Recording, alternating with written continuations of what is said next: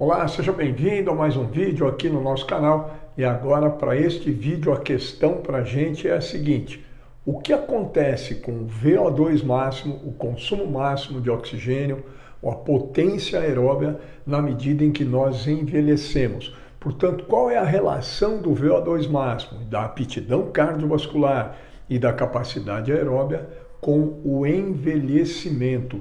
Vamos entender isso neste vídeo.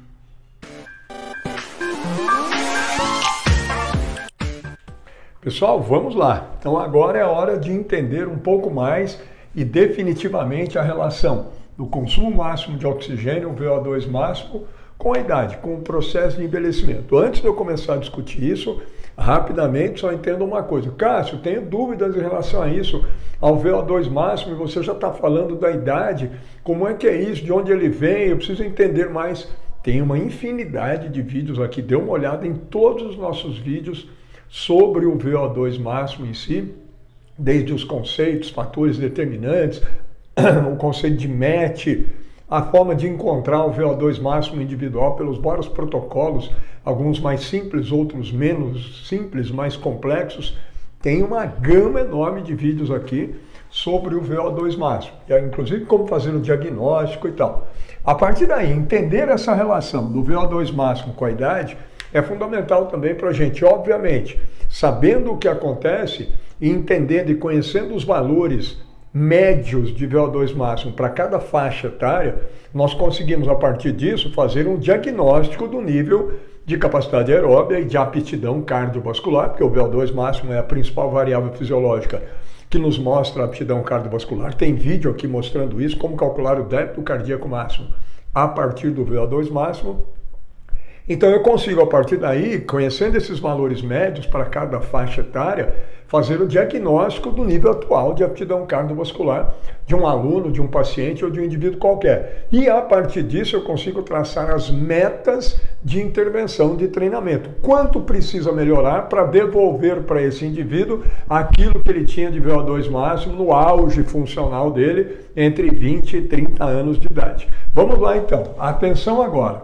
O VO2 máximo, os valores médios de 20 a 30 anos, nós já temos, e tem o um vídeo aqui, que é o vídeo, o primeiro vídeo da aula, das aulas práticas né, de VO2 máximo, que mostra como diagnosticar. Nos homens, primeiro, entre 20 e 30 anos, que é o auge funcional, e portanto, isso aqui é tudo VO2 máximo de indivíduos sedentários. Tem vídeo aqui no canal também mostrando valores de VO2 máximo de indivíduos treinados, de atletas nas várias modalidades. Então, olha só, nos homens sedentários de 20 a 30 anos, a média de VO2 máximo é 40 ml por quilograma minuto. Desde 36 a 44 ml por quilograma minuto é o valor médio de normalidade, é o que se espera nos homens sedentários, adultos jovens, 20 a 30 anos, saudáveis. Olha agora, aos 40 anos, o que acontece com o VO2 máximo? De 40 Agora a média aos 40 anos é em torno de 35, 36 ml por quilograma minuto. Aos 50 anos, os homens sedentários saudáveis, 31, 32 ml por quilograma minuto. Aos 60 anos, 27, 28 ml por quilograma minuto. Aos 70 anos, 24, 25 Obviamente, aos 80 anos, 21, 22, aos 90 anos, 17, 18 ml. O que isso aqui está mostrando? que, e aí isso vai se repetir aqui nas mulheres, ocorre uma redução a partir né, de mais ou menos 30 anos, ocorre uma redução média do VO2 máximo de aproximadamente 10% a cada década, ou seja, aproximadamente 1% ao ano. Isso nos indivíduos sedentários. Vamos ver nas mulheres os valores, agora ficou fácil.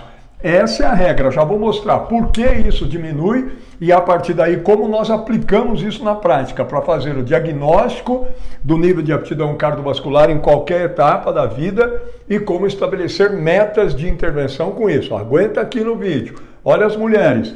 A média é entre 20 e 30 anos, 35 ml por quilograma minuto. Mulheres sedentárias, adultas, jovens 20 a 30 anos, saudáveis, eutróficas sobrepesadas, mas não obesidade. Tem vídeo aqui mostrando né, a relação da aptidão cardiovascular também com os níveis de obesidade. Aos 40 anos, agora nós já sabemos, a gente sabe que cai aproximadamente, em média, para a população sedentária, o VO2 máximo diminui em torno de 10% a cada década, então as mulheres de 35 para 31, 32 ml por quilograma minuto aos 40 anos. Depois, aos 50 anos, as mulheres 27, 28, caiu 10% daqui. Vejam que as mulheres aos 40 anos têm o VO2 máximo médio dos homens aos 50. Olha aí, as mulheres aos 50 anos têm o VO2 máximo médio dos homens sedentários aos 60. Por que essa diferença? Porque naturalmente já estão aqui, ó, já existe uma diferença de algo em torno de 10 a 15% aos, entre 20 e 30 anos, né? dos 20 aos 30 anos, entre homens e mulheres. Se reduz 10% a cada ano, é como se a mulher estivesse 10 anos à frente do homem em relação à sua capacidade funcional. O VO2 máximo de mulheres entre 20 e 30 anos é o VO2 máximo médio de homens sedentários aos 40 anos. Aos 60 anos, as mulheres têm em torno de 24, 25 ml por quilograma minuto, que são os homens aos 70, e aos 70 anos, as mulheres têm em média 21, 22 ml por quilograma minuto. Aos 80 anos, em torno de quanto? 18, 19 ml por quilograma minuto. Pronto. Esses são os valores médios, então, em cada uma das faixas etárias. O padrão de redução médio é esse e o VO2 máximo diminui, portanto, com a idade. Por quê? Fundamentalmente, porque a gente tem com a idade uma redução da frequência cardíaca máxima.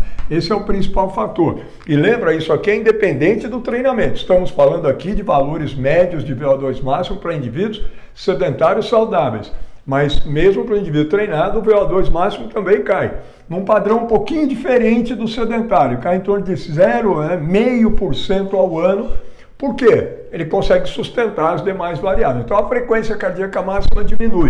Também ocorre uma diminuição do volume de ejeção máximo em menor escala do que a frequência. Se diminui frequência cardíaca máxima e ou volume de ejeção máximo, ocorre uma redução do débito cardíaco máximo.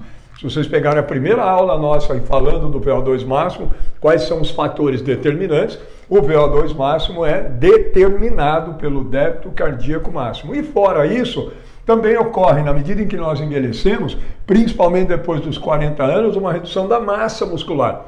A sarcopenia, que vai se agravando, se exacerbando mais. Tem vídeo aqui falando disso. Dá uma olhada nisso. E aí diminui também, né, por conta da diminuição da massa muscular, diminui a diferença artério-venosa de O2 máxima, que é o outro fator determinante do VO2 máximo. Fundamentalmente, o principal deles é esse aqui, a redução da frequência cardíaca e máxima e, consequentemente, a redução do débito cardíaco máximo. Cássio, eu não sabia disso, a frequência cardíaca máxima. Adivinha se não tem vídeos aqui no canal falando sobre isso. Tem uma série de vídeos aqui no canal falando sobre a frequência cardíaca máxima. Pronto! Para fechar agora o nosso bate-papo aqui. Então, isso é o que acontece, esses são os fatores que levam a essa redução. E aí, Cássio, para que serve esse conhecimento? Atenção, você recebe amanhã um aluno aí na academia, no personal trainer, alguém recebe um aluno e ele tem 50 anos. Você faz os testes de VO2 com ele, faz um teste, teste simples, tem teste para fazer em casa, teste na bicicleta, teste na esteira, teste de marcha estacionária, teste em pista, tem uma infinidade. Tudo tem aqui no canal.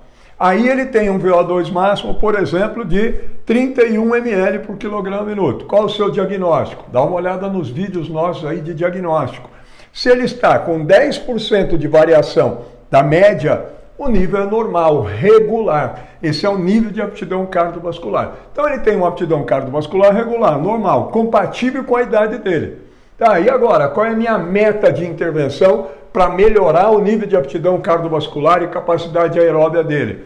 O ideal para esses indivíduos que não são atletas, nada, e que querem melhorar a saúde, qualidade de vida, prevenir doenças cardiovasculares, diminuir o risco cardiovascular, nós sempre vamos buscar colocá-los mais ou menos né, em torno de 20 a 30% acima da média para a idade. Isso é estabelecer um nível de aptidão cardiovascular bom. É assim que funciona. Dá uma olhada no vídeo em que eu mostro exatamente isso, mas está aqui, está resolvido aqui para a gente essa questão. O que eu devo buscar de VO2 máximo desde esse indivíduo aqui em qualquer faixa etária? Sempre uma busca de um valor de VO2 máximo 20 a 30% acima da média para a idade. Portanto, quanto seria a minha meta com esse indivíduo? 31, 32 é a média? Se eu colocar 20% para cima, é quanto aqui? 6, né? 3, 31, 10%, 3,1, 3,2, 20% 6, 25% 8, 30% 9, 9 e pouco. Então ele vai de 31 para onde? Para 40 ml por quilograma. Olha lá, o que, que eu fiz agora? Eu recebi um indivíduo com 50 anos com VO2 máximo de 31, 32 ml por quilograma minuto.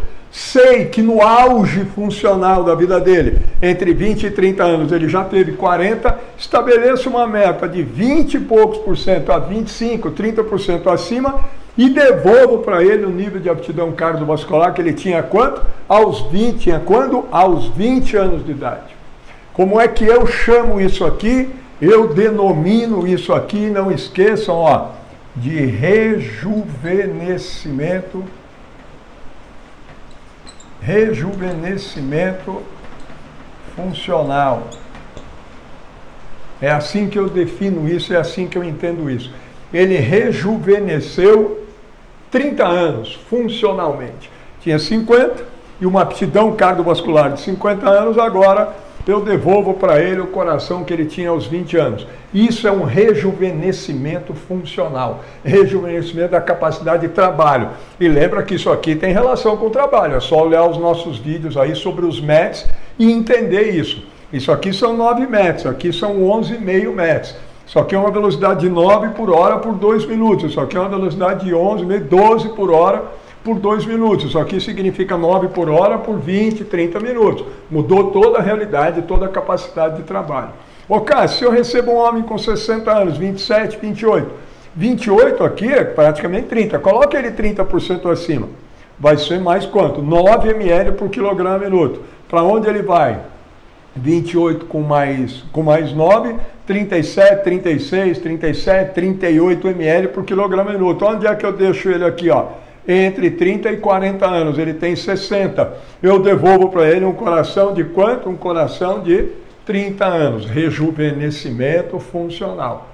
É assim que a gente utiliza isso na prática. Faço o diagnóstico e a partir daí estabeleço uma meta que deixe ele sempre 20 a 30% acima da média para a idade. Portanto, busco com ele um nível de aptidão cardiovascular Bom, isso aqui é compatível com saúde, com qualidade de vida, com prevenção de doença, com promoção de saúde, prevenção de doença principalmente cardiovascular. A mesma lógica é com as mulheres. Ó, uma mulher de 50 anos que tem 27, 28 ml por quilograma minuto. Se eu colocá-la 30% acima da média, para onde ela vai?